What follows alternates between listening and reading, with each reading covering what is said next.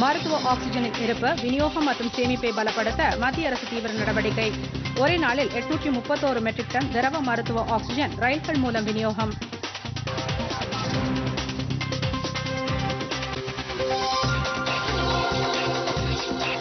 Corona நோயாளிகளை தாக்கும் பூஞ்சை தொற்று பிரச்சினை.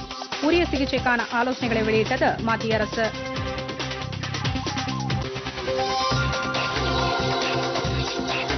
தமிழக சட்டப்பேரவையின் முதல் கூட்டத்தொடர் இன்று கூடுகிறது. புதிய எம்எல்ஏக்கள் பதவியேற்கின்றனர். நாளை பேரவைத் தலைவருக்கான தேர்தல்.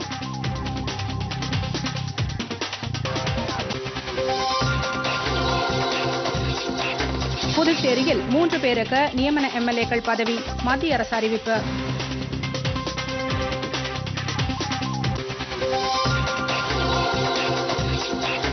இஸ்ரேல் பாலஸ்தீன மோதல் தீவிரம். ஜெருசலேமில் நடத்தப்பட்ட ராக்கெட் தாக்குதலில் இருபது பேர் பலி.